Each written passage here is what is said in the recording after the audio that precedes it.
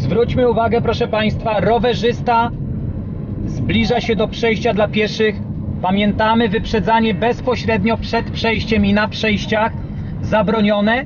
Przypominam definicję wyprzedzania: przejeżdżanie koło pojazdu, który jedzie w tym samym kierunku z mniejszą prędkością. Kursantka bardzo ładnie zauważyła, nie wyprzedziła tego rowerzysty przed przejściem.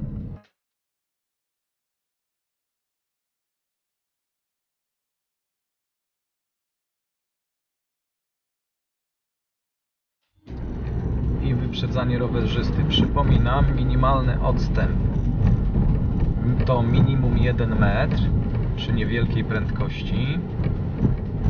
Tak. Czyli popatrzmy, tutaj nie ma na razie warunków do wyprzedzania, bo mamy podwójną ciągłą z lewej strony. Musimy prędkość dopasować do prędkości rowerzysty. Ale staramy się jechać przy osi jezdni.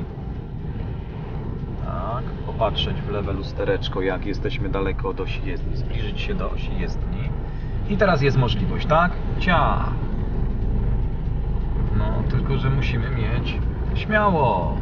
Popatrzmy, jest jeden metr od rowerzystki.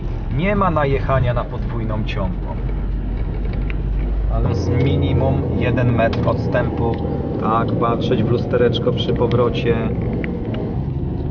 I przypominam, proszę Państwa, zamkowa ma po dwa pasy ruchu, ale nieoznaczone, czyli wyprzedzanie pojazdu z prawej strony zabronione, ale w momencie, gdy stoją, czyli omijanie pojazdu, wykonujemy omijanie pojazdu, tak, dozwolone. Pamiętajmy, przypominam, wyprzedzanie